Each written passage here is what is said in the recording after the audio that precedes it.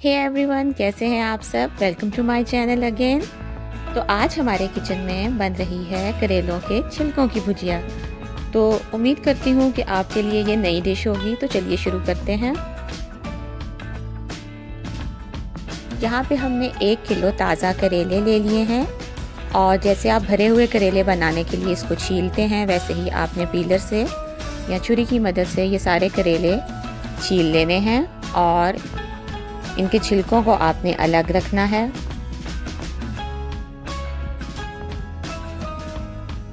करेलों को आप अलग कर दीजिए और जब भी आपने भरे हुए बनाने हो या काट के बनाने हो, वो वैसे ही बनाइए और इनके छिलकों को बिल्कुल भी मत फेंकिए।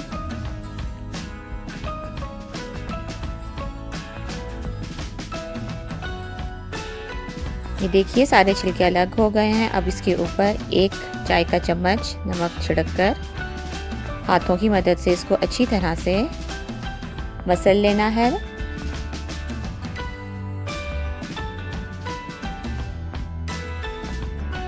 अच्छी तरह से मसलने के बाद इसको खुले पानी में आपने धोना है। बिल्कुल यूँ ही हाथों से आप इसको मसल कर खुले पानी में धोइए और फिर छलनी में इसको अच्छी तरह से छान लें। और खुश्क होने के लिए रखते हैं थोड़ी देर के लिए। यहाँ पर आधा किलो प्याज काट के ले ली है और आधा किलो ही हमने टमाटर लिया है। और ये जो भुजिया हमारी बनेगी वो 300 ग्राम छिलकों की बनेगी। और बाकी सारे मसाले भी इसी तरह इकट्ठे कर लेने हैं। तो साथ साथ मैं आपको बताती जाऊँगी कि ये कितनी मकदार में हमारी भुजिया में जाएँगे। तो प्लीज़ मेरी वीडियो को एंड तक ज़रूर देखिएगा और मुझे एंड पे ज़रूर बताइएगा कि आपको ये मेरी रेसिपी कैसी लगी है। एक पॉट में या कढ़ाई में हमने सबसे पहले तेल या घी ले लेना है। 300 ग्राम छिलकों में तकरीबन 10 खाने के चम्मच, तेल जाएगा। यहाँ पर मैं अंदाजे से ले रही हूँ।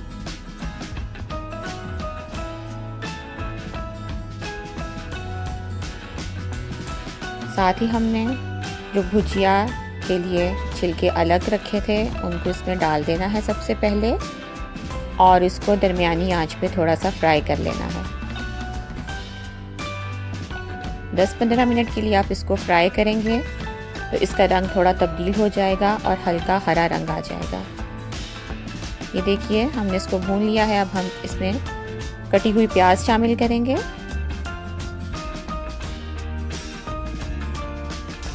साथ ही साथ इसको हिलाते हुए अब हम इसमें आधा किलो जो टमाटर हमने पहले से काट के रखा था, वो भी हम इसमें शामिल कर देंगे।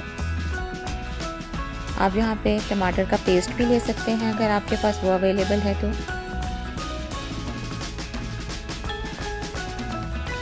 और साथ ही अब हम इसमें अपने बाकी मसाले भी शामिल करेंगे। इससे पहले इसमें जाएगा एक चम्मच अदरक का पेस्ट और दो चम्मच लहसुन का पेस्ट, जो कि खाने के चम्मच हैं। आप अंदाज़न जितना अपनी हांडी में डालते हैं, आप वही शामिल कीजिए। मेरे पास यहाँ पे फ्रोज़न अदरक लहसुन का पेस्ट है, जो मैंने इसमें शामिल कर दिया है। आप ताज़ा कूट के भी इसमें शामिल कर सकते हैं तो और भी अच्छी खुशबू आएगी। सबसे पहले इसमें आधी चाय की चम्मच हल्दी जाएगी।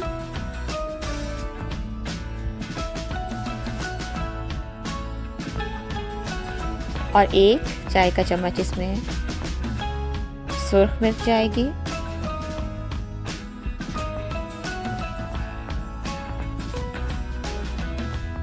इसके साथ ही हमने एक ही चाय का चम्मच पिसा हुआ धनिया ले लिया है।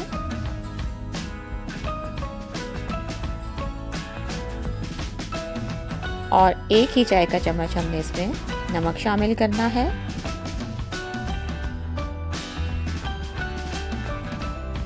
और फिर एक ही चाय का चम्मच हम इसमें ज़ीरा डाल देंगे। इसके अलावा अजवाइन आप तीन चार चुटकी ले लीजिए। ये भी ऑप्शनल है, अगर आपको पसंद नहीं है तो मत डालिए। लेकिन वैसे ये सब्ज़ी में बहुत अच्छा टेस्ट देती है। इसको आपने थोड़ा सा हल्का सा बस भून लेना है। और साथ ही अब हम इसमें एक चाय का चम्मच कुटी हुई लाल मिर्च शामिल कर रहे हैं। क्योंकि इस भुजिया में थोड़ा सा मसाला तेज़ हो तो और भी ज़्यादा मज़े की बनती है और इसमें कड़वाहट भी नहीं रहती।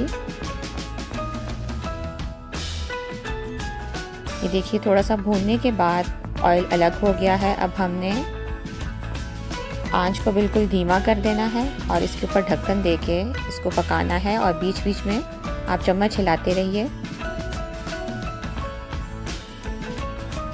यहाँ पे आपने एक से डेढ़ घंटे तक इसको हल्की आँच पर पकाना है ताकि ये अच्छी तरह से पक जाए।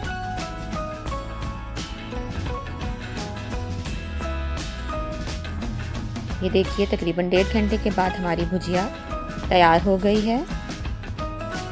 और इसका बहुत ही मज़ेदार सा जायका है और खुशबू तो लाजवाब है।